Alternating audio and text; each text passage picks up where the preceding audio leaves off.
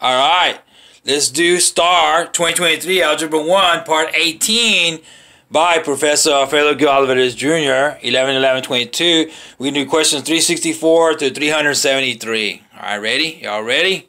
I say yes, we are ready to go.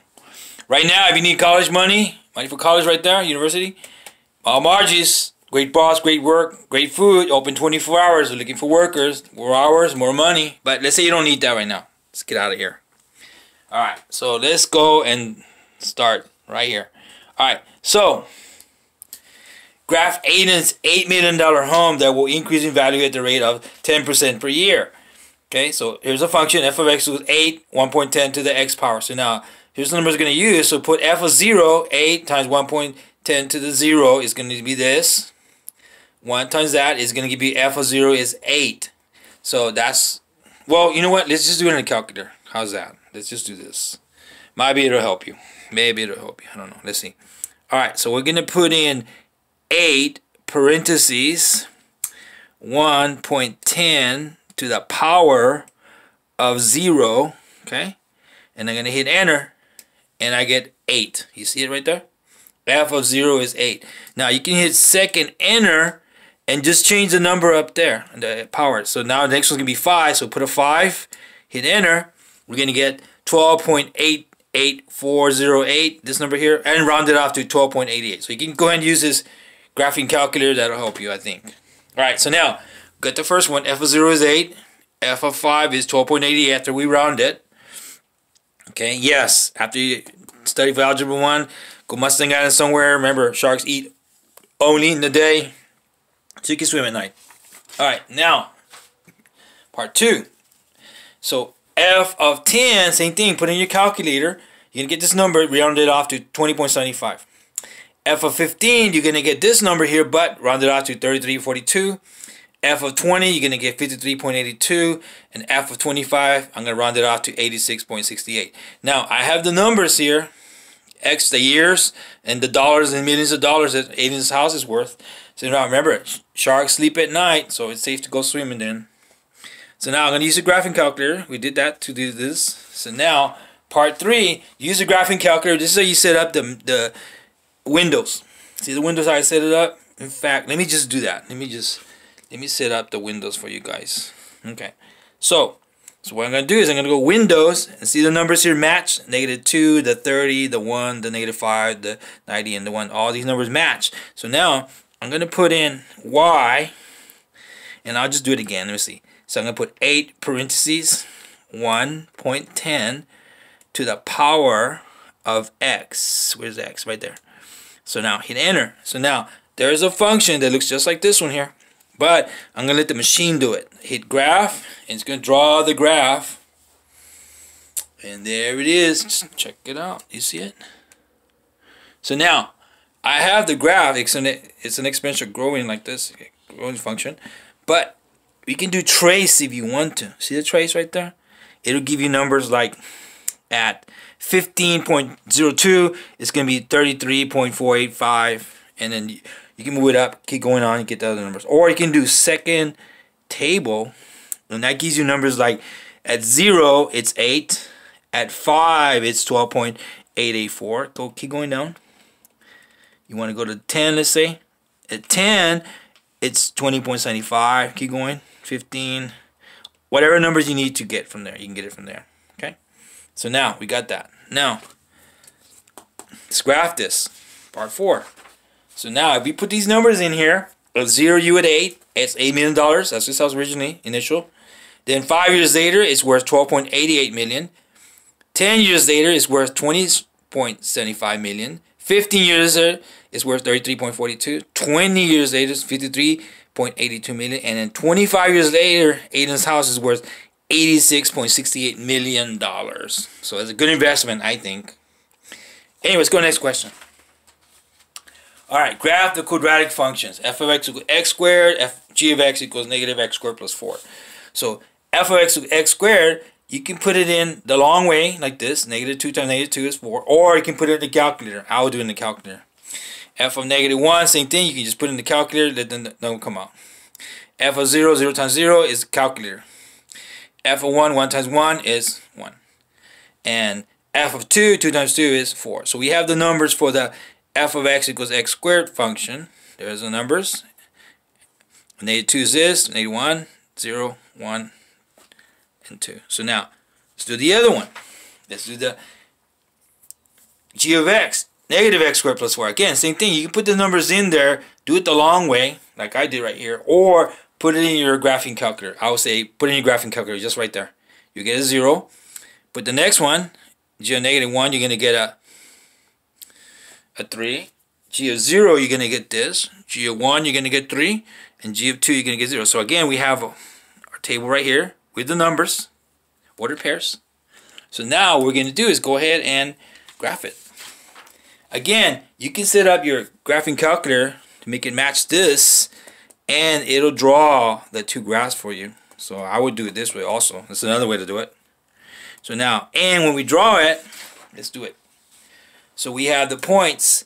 We have negative 2 and 4. You have uh, negative 1 and 1. We have 0, 0. We have 1 and 1. We have 2 and 4. There's a graph right there. This is f of x equals x squared. There it is. g of x is negative x squared plus 4. The numbers are negative 2, 0, uh, negative 1, 3, 0, not 4, 1, 3, and then 2 and 0. So there's a, the graph of g of x. Okay. Yes, sharks eat anything. By the way, anything, wherever you, anything, they eat everything. All right, next question. Solve the systems of equa linear equations by elimination. Hmm. Example, P is the calories in a regular slice of pizza. C is calories in a stuffed crust slice of pizza. Think of it that way. All right, so there's this, our equation, systems of linear equations. So I multiply this. See the see the three and the five. I just put the five here and changed it to a negative. And the three I kept it the same. So those two numbers right here, they just flipped. Now this is a negative. The reason is because when you multiply negative five times all this, you're gonna get negative 10p, negative 15p. C equals negative 17,000. And this one's going to give you this right here, 24p, 15c, and that. Now, notice positive and negative right here. Are those going to cancel out? The answer is yes, they are. So guess what? These are gone. So you have 14p plus 0 is that. 14p is this. So now what are we going to do? Divide by 14, divide by 14, and guess what? P is 500. So the regular size of pizza, 500 calories. That's one answer. Find the second answer substitute it into the first one up there. So P is 500 times that. It's a 1,000. So now subtract 1,000 from both sides. So 3C equals 2,400. Divide by 3, divide by 3. So C equals 800. Stuffed crust slice of pizza. So there's our answers. That What is it? Calories in a regular slice of pizza? 500. Calories in a stuffed crust slice of pizza? 800. See, it's not bad. 3,400 calories for lunch, 8,000 calories for lunch. That's not bad. All right. Next one. Solve the quadratic equation. We're going to factor it out. Look at the last number, 24. 24 times 1, 2 times 12 times 2, 6 and 4, 3 and 8. All possible numbers, but I'm going to take the 6, 4. I say x minus 4 and x plus 6 works. Let's check it down here, though. Let's check this right now. So, x times x, is that going to give you x squared? Yes. X times that is going to be 6x. This times this is going to be negative 4x. And that one times that one is negative 24. So x squared, this right here is going to give you 2x minus 24. Does this match the one up there? The answer is yes, it does. It does match it. Okay. So we can say x minus 4 equals 0. X minus 4 plus 4. 0 plus 4. So x equals 4. There's a positive solution x plus 6 equals 0. So minus 6 minus 6, both sides. These are gone. So x equals negative 6. The negative solution. So we have a positive solution and we have a negative solution. x equals 4. x equals 4 right here. x equals negative 6 or x equals negative 6 is a negative solution. Some videos you might look at if you want to. Alright. Solve the systems of linear equation by elimination. We're going to try to get rid of the, the y. Let's do that. So uh, again, See the 2 and the 5? I just put negative 5, negative 5, 2 and 2 here. The reason is because when you multiply this across, you're going to get negative 10x, negative 10y equals negative 10. And 2 times all of this right here, it's going to give you negative 10x, 10y. And to see the y's, 10y minus 10y is gone. So you have negative 20x plus 0 is this. Negative 20x is negative 60. Divide by negative 20, divide by negative 20. So x is a 3. Put it back. Substitute it back in the first equation up there. This one here. So now we have 2 times 3 is 6. So now we're going to go minus 2, minus 2 on both sides. And yes, these cancel right here. Let me do that. So now we have 4 equals negative 2y. Divide by negative 2, divide by negative 2. So y is what? Negative 2. So x and y, x is what? 3. And y is what? Negative 2. This is solve the systems of linear equations by elimination. Ah, solve the systems of linear equation by graphing. Okay. We're going to do is we're going to solve this for y first. See right here? This one there. So we're going to go minus 2, minus 2 on both sides. So now divide by negative 2, divide by negative 2, divide by negative 2. So we have negative 1x plus 1 equals y, or negative x plus 1 equals y, or rewrite it as y equals negative x plus 1. Solve for y. Second one, second, solve this one for y also. So plus 5x plus 5x, so we have 5y equals negative 25 plus 5x, divided by 5, 5, 5. So then we get y equals negative 5 plus x, 5 is gone. So rewrite it, y equals x minus 5. So now, there's y equals y equals. So now we're going to do is put numbers in. So y equals negative x plus 1. I try 0 in there. Put a 0 in there. 0, 0 plus 1 is 1. Put a 3 in there. Negative 3 plus 1 is negative 2. So we got pairs of numbers right there. For the other one, y equals x minus 5, put the numbers in. Put a 0 in there. 0. So 0 minus 5 is minus negative 5. And put a 3 in there. 3 minus 5 is 8, negative 2. So we got pairs of numbers right here. So now, notice what we did. So 0, we had a 1, 0 and a 1. And then 3 and negative 2 is right there. So there's, there's a line right there for this one. The other one, y equals x minus 5, I put 0, I got negative 5 down here. And then 3, I got negative 2 again. See the intersection right there where they hit, intersect? That's the answer again. 3 and negative 2 is the answer, the intersection. Okay? Got it? The intersection. Let me write this down so you can remember that. What? The inter this section. That's the answer right there. Okay? Right there, right there, right there. Alright, got it. Next one.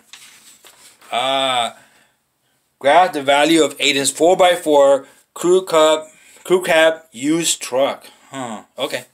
So, right now, it's worth 12500 but it's gonna depreciate. So f of 0 is put in the calculator use the calculator you're gonna get f of 0 is 12500 because already has it right now this value right now initially. One year later his car his truck's gonna be worth 10000 two years later it's worth 8000 three years later it's worth 6400 four years later it's worth 5120 there's a table right there years and dollars for this 4x4 crew cab used truck. So now let's graph it. Graph the value of Aiden's 4x4 crew cab used truck. So we, we can use, again, you can use graphing calculator if you want to. Or we have the table right there. Let's use the numbers. So at 0, it was 12,500. One year later, it was 10,000. Two years later, 8,000. Three years later, 6,400. Four years later is 5,120. And so this is the years. Again, this is the years, and this is the money right here. Thousands of dollars, 13,000. Okay. Next question. Find the equation line to the two points. Okay, so we have two points. Right there, right there, or two points there. Okay. So now, we don't find the equation line Find the equation of the line. Okay, let's go. So what I'm going to do is x1, y1, that's what that is. x2, y2, that's what that is. So now put the numbers in there. See the y1, put it in there. And y1 there, and y2, put it in there. x1, it's this number.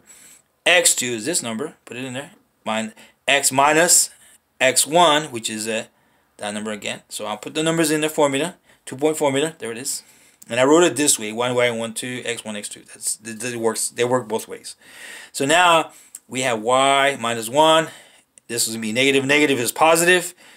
And we have negative 1, negative 11. So we have 3 over negative 12. And negative and negative is positive 1. So now we have 3 over negative 12, which is 3 times negative 1, 3 times 4, same thing. 3's cancel. So we have negative 1 fourth times this. So negative 1 fourth times this is negative 1 fourth x and negative 1 fourth times 1 is negative 1 fourth. So now add 1 to both sides. See right here? These are gone. So now 1 and a 4, I, can't do that one, but I'm, if I make it a 4, 4 and a negative 1 fourth, I can put this together easy. So this is going to be y equals negative 1 fourth x plus negative 1 plus 4, which is going to be what? 3 fourths.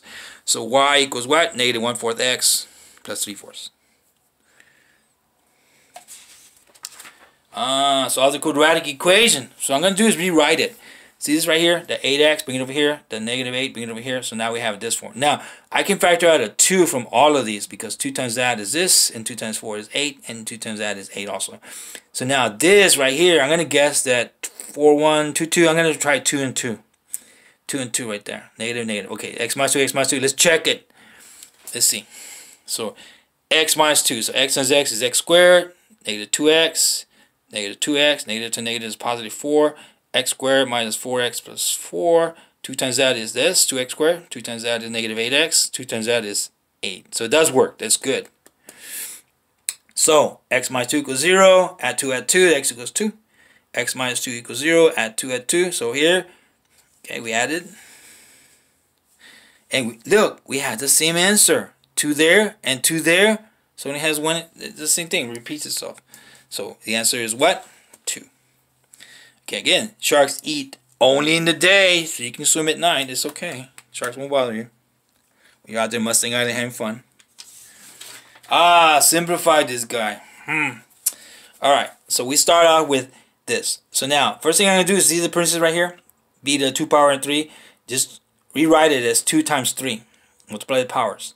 So 2 times 3 is 6. And now we have A10, B6, A15. So now we're going to subtract power. See this one? Where's the big number? Right here, 15. So you need to take the 10 from the 15. So B to the 6, leave it alone. A to the 15 minus 10. And that's going to give you B to the 6 over what? A to the 5. Right there. That's the answer. Okay. And we, and a good thing is sharks want you for lunch. That's what I heard. They want you for lunch. Ah, what does this say? Which situation shows causation? So what is, let's see. So the number of tennis rackets you own will affect how many games you will win. No, that's not it.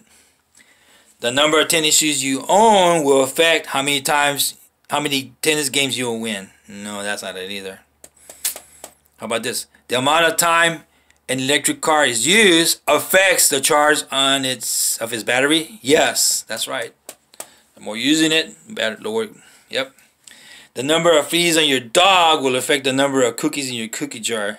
no, that's not it either. It has to be C. Alright. Oh, that's the end of this this right here. So now, once you finish all this Algebra 1 stuff, yes, get your surfboard, go out there Mustang Island, Galveston, Padre Island, somewhere, have fun. Surfing. Or if you have lots of money, go to Hawaii, of course. It's more expensive. But it's fun. Go out there with your Hawaiian stuff on, the ocean, and big old waves, 40 foot waves. Might break your surfboard in little pieces, but that's okay. You can always take the little decals off it and put it in a, a new surfboard. Anyway, there you are, looking down at the ocean. There you go. Your arm, Hawaiian stuff. Alright. And holy cow, math monster. Not scary anymore. We know algebra 1 stuff. We're not scared of this math monster anymore. Math is actually fun now. Okay, what's more scary than Nope, it's not scary. Math Monster's not scary. Holy cow! These guys are pretty scary. One, two, three, four, five, six, seven. But nah, the math, the algebra one was more scary. How about holy cow? One, two, five, six, seven of these. Nah, algebra one was more scary. Was more scary than these guys. Hmm. Uh, seven, seven. There it is. And holy cow, the giant crunchy one. Is that more scary than the algebra one? Nah, no way. Algebra one used to be scarier. How about, oh, about two of them. Crunchy guys, Crunchy 2 and Crunchy 3. More scary? Nah. Anyway, good luck. This is Professor Alfredo Galvez saying good luck. Professor Alfredo Galvez saying good luck on your Algebra 1. Uh, just study and you'll do great on it. Again, good luck, good luck, good luck. Professor Alfredo Galvez Jr. Bye.